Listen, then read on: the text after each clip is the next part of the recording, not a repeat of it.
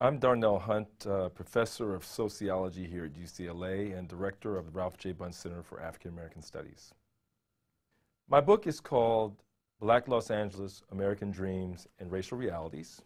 We have a 440 page manuscript here. the book is due out shortly from NYU Press.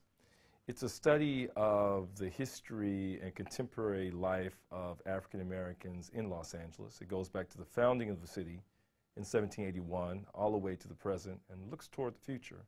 In fact, what the book tries to do is connect the dots between the past, the present, and the future of Black Los Angeles. The project goes back many, many years to the point when I first came to UCLA to be director of the Ralph J. Bunche Center for African American Studies. Um, it's an eight-year project that um, recognizes the dearth of scholarship out there about the big picture questions confronting black Los Angeles.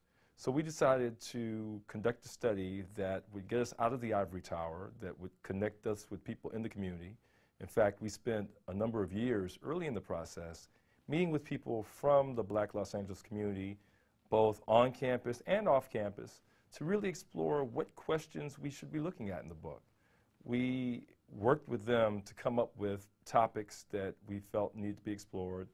And in the end, um, this worked out to be um, 15 different chapters we have in the book that cover a number of issues that take us through time and space to really understand the, the interesting challenges and opportunities that African Americans have faced in the city. I think the most surprising thing I learned um, in editing this book and pulling together all of the chapters and all of the 20 to 25 contributors and, in their work was the incredible history and legacy um, that African Americans um, have here in the City of Angels and the lessons that can be learned from that history, from that legacy that are relevant to other communities, other African American and minority communities throughout the country. I think one of the um, the, the key themes that come out of this book is the role that information and media play in helping us understand the, the situations that confront us.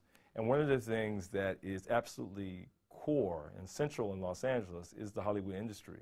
And the fact that we have the movie industry here, we have the television industry here, and the images that um, come from this, um, from this industry um, not only shape how other people around the nation have come to view Los Angeles and the people who live there, but it's also shaped um, the views the people who live there have about their own communities. And in some cases have limited um, their imaginations in terms of what might have been done to move things in a different direction. So by bringing all these studies together, um, we begin to see patterns, we begin to see opportunities and missed opportunities for progressive change. And I think that was the spirit that motivated the work. And the thing that most pleases me about the final product is that I really believe that um, the African American community in LA will be able to use the book to empower itself by learning from the lessons that are recounted in the book.